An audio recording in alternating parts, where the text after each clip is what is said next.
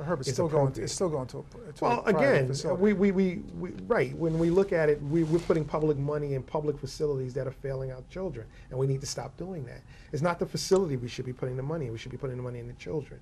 I mean, we should be putting money in, the- in, in the effective way in which children are being taught. And we have to get away from that.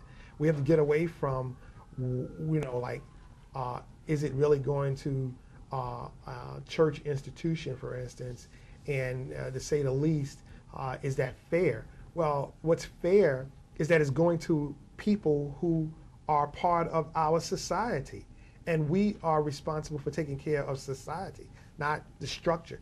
Um, I'm I'm a very high uh, advocate for uh, education that people may want to uh, use technology, you know, uh, online education. That's people who can get a degree sitting in their home.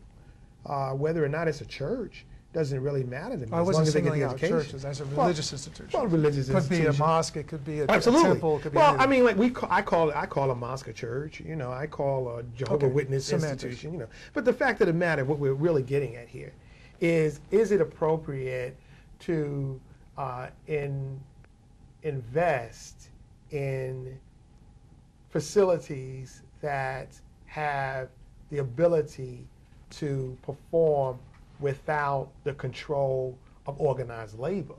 And I believe that that is important. I think it's necessary.